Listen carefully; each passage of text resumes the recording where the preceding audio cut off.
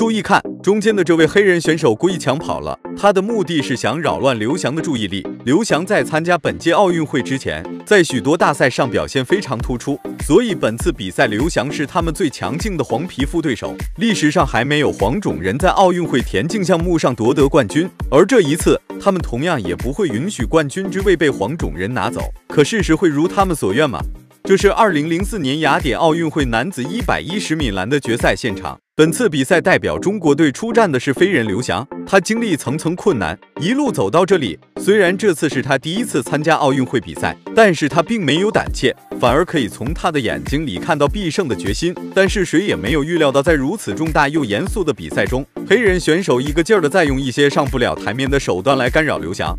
比赛开始了，就在所有选手的注意力都集中在枪响的时候，一名黑人选手突然起身，声称自己的起跑器有问题。随后，工作人员解决完后，又开始比赛。这时，又有一名黑人选手开始抢跑，这让刘翔的注意力又一次被打散。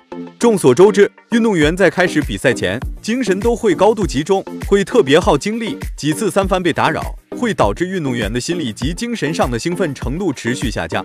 而他们一次又一次的干扰，一次又一次的试探，成功的激起了刘翔的怒火。老虎不发威，真把我们当 Hello Kitty，真是要狠狠的虐他们一下。接下来咱们来看下比赛。比赛开始，刘翔的起跑非常的顺，他目前排在第一位。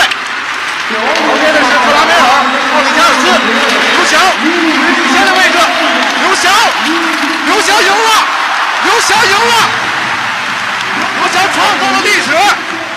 最终，刘翔不负众望，以十二秒九一的成绩打破了奥运会纪录，夺得了金牌，成为中国田径项目上的第一个男子奥运冠军，让全世界都知道黑头发、黄皮肤的人也可以在田径赛场上称霸。在比赛结束后，刘翔彻底放开了积压的情绪及压力，他眼睛湿润的对着镜头说：“太兴奋，太兴奋了！谁说黄黄种人不可以拿到奥运会前八？我今天一定要证明给给大家看，我是奥运会冠军。”我觉得梦想终究会变成现实的。刘翔创造了中国人在男子一百一十米栏项目上的神话。经此一战，雅典奥运会成为了刘翔走向巅峰的起点。在二零零六年国际田联超级大奖赛洛桑站男子一百一十米栏的决赛中，刘翔再次以惊人的速度闪耀世界。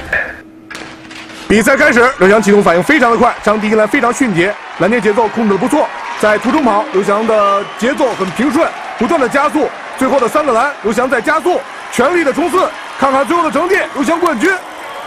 此时此刻，刘翔以十二秒八八的成绩打破了沉睡十三年之久的男子一百一十米栏世界纪录，并夺得金牌，也让全世界人民见证了华夏少年的觉醒。从此以后，黑人选手对刘翔的态度从鄙视变成了仰望和害怕，因为有他的出现，才使得他们对冠军的位置望而不及。如果说雅典奥运会是刘翔的起点，洛桑是他的巅峰，那么大阪就是他的封神之地。在说大阪之前，先跳跃一下，说说2011年韩国的大邱比赛。为什么要说这次比赛呢？因为本次比赛是刘翔与罗伯斯在此相遇。罗伯斯大家都知道，他号称古巴飞人，名声很响，但是没想到也会用一些损招，真是让人大跌眼镜，白下了这个名号，这是怎么回事呢？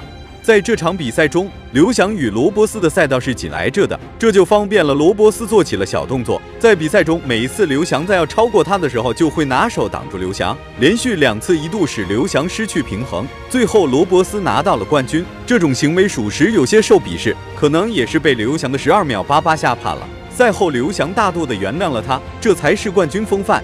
现在回到二零零七年大阪田径世锦赛男子一百一十米栏决赛，本次比赛使他距离男子一百一十米栏项目上大满贯得主仅有一步之遥。而本次最有力的竞争对手是古巴名将罗伯斯和美国名将特拉梅尔。幸运的是，刘翔在这次比赛被分到了第九赛道，距离罗伯斯很远，也防止了被他使用小动作。刘翔能实现他的大满贯吗？我们接着看，出发了，快速攻击一个栏。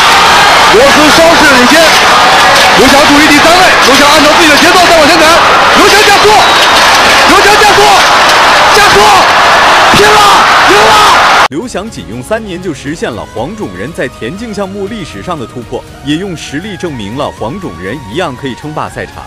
刘翔一共参加了四十八次世界大赛，拿到了三十六次冠军，六次亚军。三次季军，一次追平世界纪录，一次打破世界纪录，五次打破亚洲纪录。